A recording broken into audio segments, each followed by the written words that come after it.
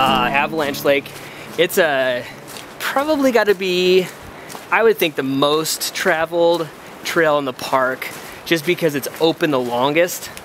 And uh, it's fantastic, it really is. Um, two and a half miles if you want to walk all the way to the end of the lake, about a mile and a half if you want to just go right to the lake. So I'm down on Trail of the Cedars and this is a little um, conversation about, as you can see I'm walking on this boardwalk and there's some people behind me and it's uh, really cool because the Glacier National Park Fund does a lot of this stuff. So these accessible trails are really uh, an awesome way for people to experience a park who can't get out and hike a thousand miles.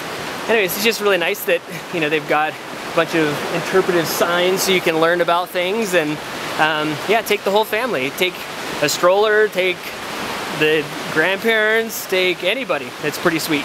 Of course, you have the creek itself, which just bubbles along and it looks really cool. Be careful not to stand too close to the edge.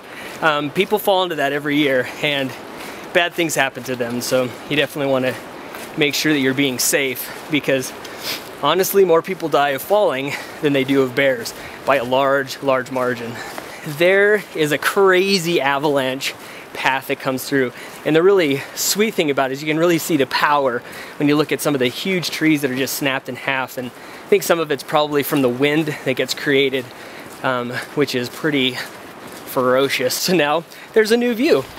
On the way up, you'll find Engelmann spruce and cedars and hemlock. So there's a nice, nice bit of tree variety.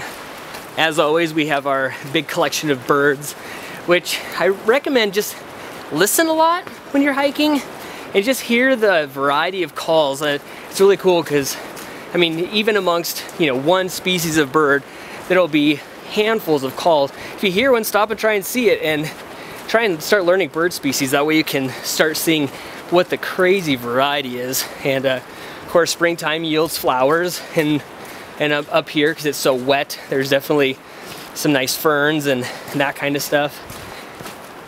Waterfalls, waterfalls, waterfalls. There's so many wonderful waterfalls that fly down um, off the rocks surrounding Avalanche, even late into summer, but obviously earlier the bigger overall, Avalanche is a great, great hike.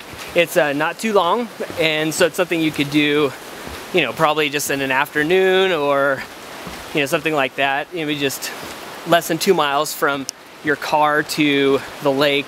Beautiful views, lots of wildlife, lots of cool undergrowth, and, you know, keep an eye up on that left-hand side um, right before the lake off of the shoulder of Bearhat and look for a bunch of goats because they're a bunch of mountain goats usually hang out up there so they're pretty sweet but definitely love it. A lot of the locals will end up taking friends up to Avalanche because if you visit a little bit early that's one of the few that's actually open. Overall though I definitely love it. I have done it a bunch of times and it's cool and it changes a lot as the seasons change with it. So yeah thumbs up